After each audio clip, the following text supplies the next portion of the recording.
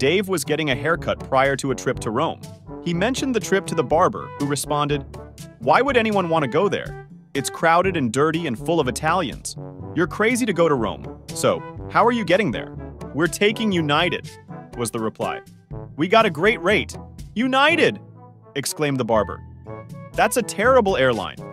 Their planes are old, their flight attendants are ugly, and they're always late. So, where are you staying in Rome? We'll be at the Downtown International Marriott. That dump! That's the worst hotel in Rome. The rooms are small, the service is surly, and they're overpriced. So, what you doing when you get there?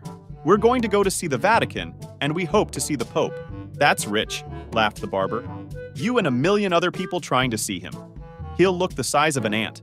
Boy, good luck on this lousy trip of yours. You're going to need it.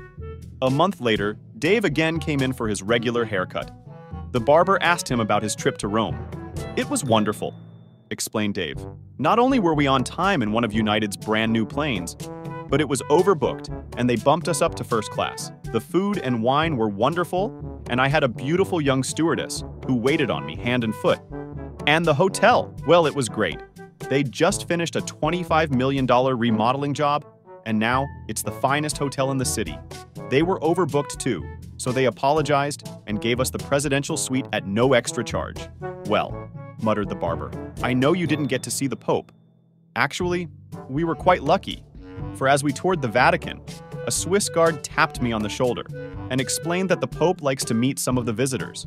And if I'd be so kind as to step into his private room and wait, the Pope would personally greet me.